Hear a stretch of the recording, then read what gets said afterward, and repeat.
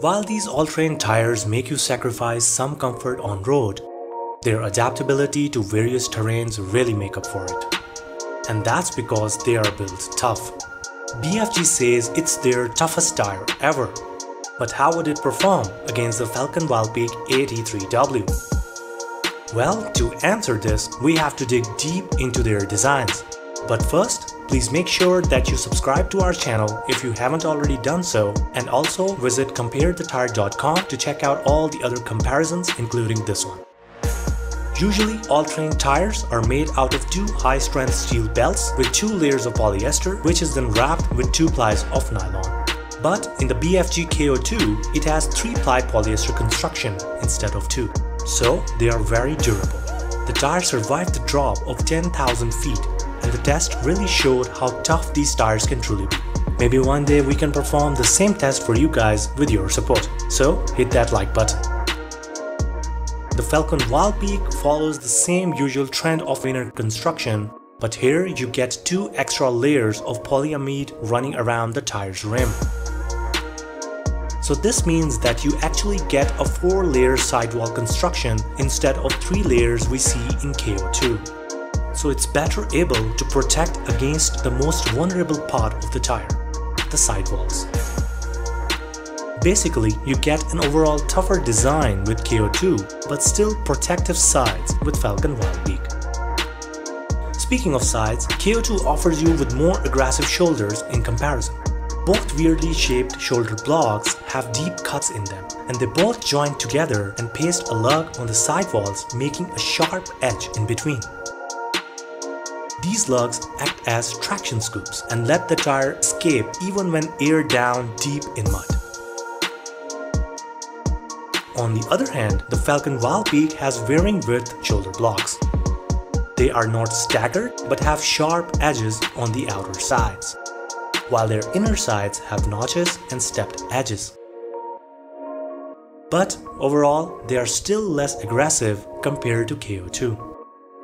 That's because in KO2 you see multiple variations of deep cuts, allowing this tire to shed more dirt out of its way. While the bold stone injectors combined with the triangular ones that are strategically placed between the tread blocks expel more debris that would otherwise lodge itself in between. But mud is all-terrain tires' biggest enemy. And having said that, Falken Wildpeak still gives a hard time here.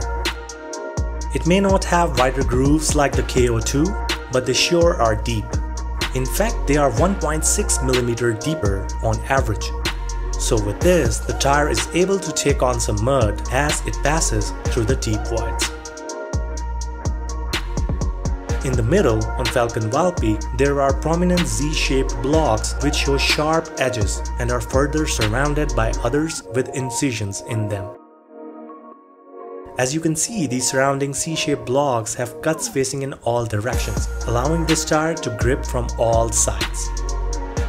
The siping here is also a little different than the shoulders, but they are still deep and very efficient.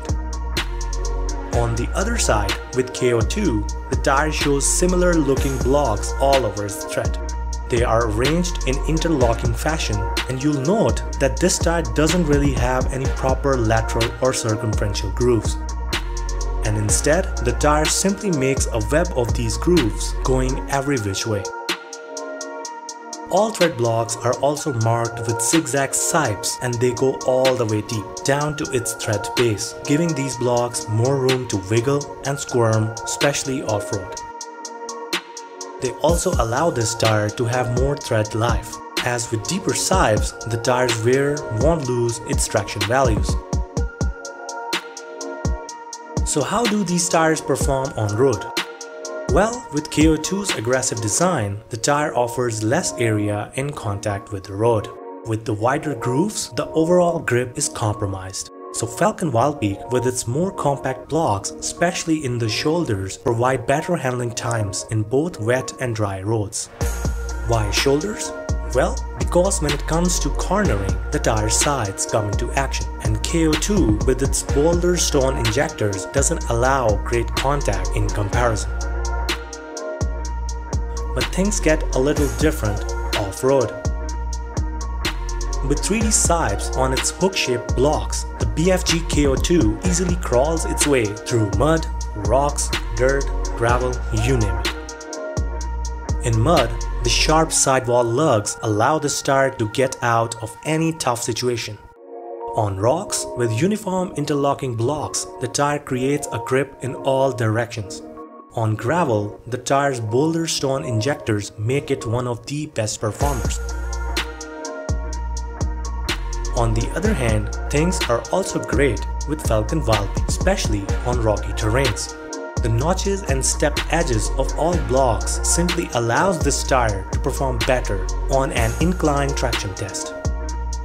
The deeper tread also allowed the blocks to move more independently, and this combined with its softer material, the tread produces a sticky effect with the rocks enhancing overall grip. On the other side, KO2 with its stiffer sidewalls lags a little behind on rocky terrains. But still, overall, the difference is minuscule, and both tires are simply great off-road. Both of them offer amazing performance on snow as well, and they both are branded with 3 Peak Mountain Snowflake rating.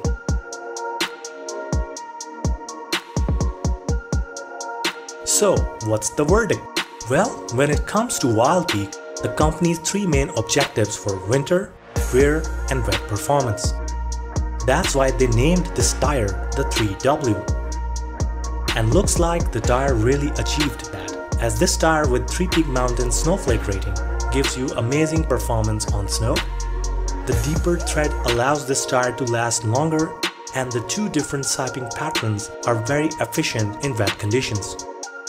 On the other hand, although KO2's on-road traction can get a little better, the tire would never disappoint off-road with its great all-rounder performance. Do tell in the comments which tire do you prefer We'd love to hear your thoughts on them. And also, please don't forget to subscribe. Till next time.